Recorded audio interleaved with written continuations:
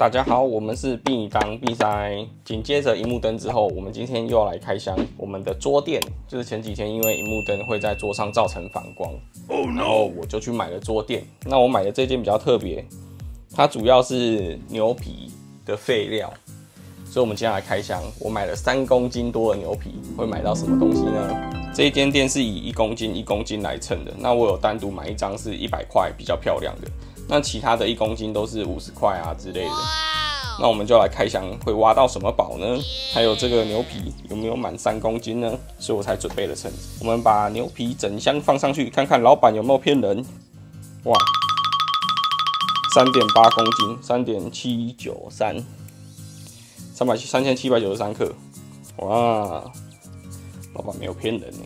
好，那秤子退场。等一下我们把东西拿出来再称一次。现在先让他退场，来看看里面到底有什藏了什么宝物。花了我两百六十五块的全真皮牛牛皮。他们这一间会卖这么便宜，是因为这些都是废料。那他们主要是帮专柜代工或是品牌代工那个皮件的。其实很多国外知名的品牌也都是台湾代工。台湾的真皮产业其实也蛮厉害的。那有些牛皮上面会有瑕疵，可是因为它一公斤五十块，我是觉得没差，而且买回来可以做很多东西。哇，看起来不错哎，嗯，包的蛮好的，比我想象中的高级很多哎。这个应该就是我买的那个单独比较漂亮一百块的 A 三尺寸的真皮桌垫，噔噔。刚刚因为曝光没调好，所以我们重新调整，再来继续开箱。看起来真的很棒，不过好像有点薄，因为我是买两 mm 的。哇，这块算漂亮，很完整，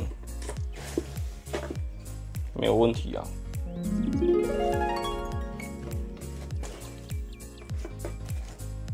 这都是真皮的，但它旁边没有上那个边胶。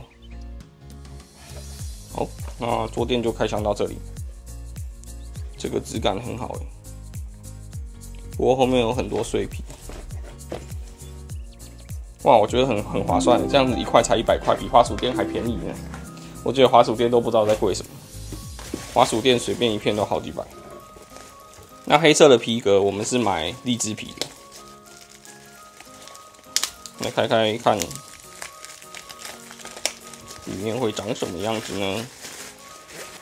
哇，很多厚的跟薄的都有哎。那其实我也可以把这种碎布做成不规则的那个不规则的桌垫。哇哦，很漂亮。过几天我们还会去买摄影棚的棚灯，柔光箱，这样之后拍会更好看。我觉得 CP 值爆掉哎，这样子才五十块，超划算。认真给你看，五十块，unbelievable 哎！其实看不太到瑕疵啊，因为它做荔枝皮。这边顺便跟大家讲一个小知识，就是皮革为什么会做荔枝纹，是因为天然的牛皮其实本身会有缺陷。那做荔枝皮的话，就不容易看得出来缺陷。所以真正好的皮革其实是没有纹路的，是像我们刚刚打开第一个 A 三的那个皮革，是不会压荔枝纹的，是天然的平平的纹路。但是大家好像都会以为牛皮都有纹路，有荔枝纹啊。不过我个人是也比较偏好荔枝纹的。啊，这个东西也没有对错，就是看个人喜好。因为素牛皮看起来比较单调，我没有那么喜欢。这个是爱马仕的橘色，这个好像也是五十块、七十块。哇，太划算了，还蛮大片的，这个可可以拿起来包很多东西。之后再去买一个那个胶，它其实有卖啦，我没有，我没有刚买。因为我不知道我会拿来做什么，所以我就暂时先不买。然后再找一下看有没有瑕疵，跟大家讲解一下。啊，像这边就有瑕疵，这个裂开了，但是一点点啊也还好。然后这个也有瑕疵，这黑黑的。它的这个爱马仕皮革也是荔枝纹诶，是我比较喜欢的，我还蛮满意的。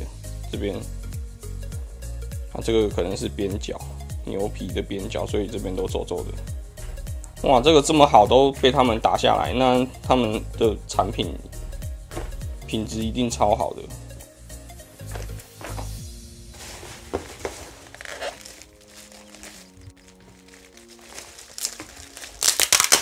嗯，这个咖啡色的看起来就普通一点。哎，其实也不会，不过它这个就不是荔枝皮了，但也蛮漂亮的。哇，这样子才两百六十五块含运费，因为虾皮免运，好划算哦！赚到，真的是赚到哎。那我们把。买的零散的这个一公斤的牛皮放进来，看看它有没有买满三公斤。我觉得一定超过啊，因为前面两个就已经那个了，两公斤多了。这边达到三千一百六十三克，就是三点一六公斤，所以老板有称超过一些给我们。嗯，我觉得很满意。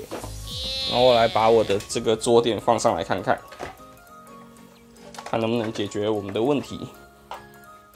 好了，大家这边有看到吧？这个就是反光，然后很亮，所以我才买了这个桌垫。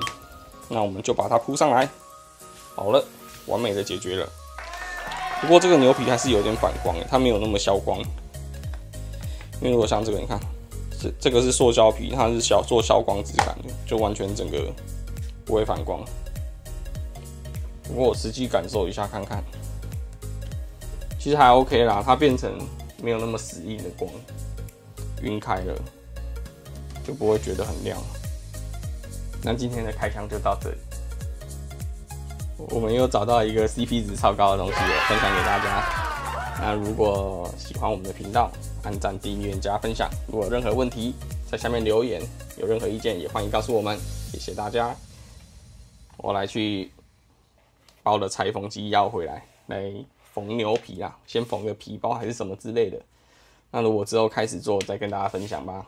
就这样喽，拜拜。